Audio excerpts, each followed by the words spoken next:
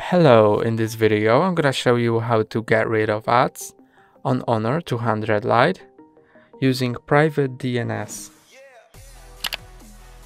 You can enable a global ad block on your device uh, by setting up a private DNS and to set it up go to settings.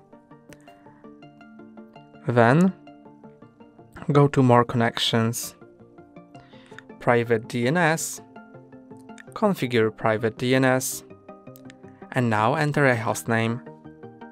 The hostname which you, uh, you should enter is dns.adguard.com and press on and then exit out of the keyboard and now it is configured.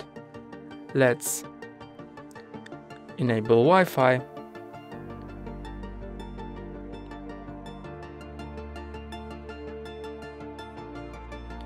Wait for the network to connect.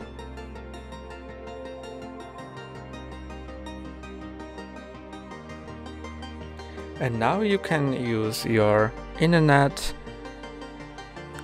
ad-free. That's all for today, don't forget to like and subscribe. See you next time.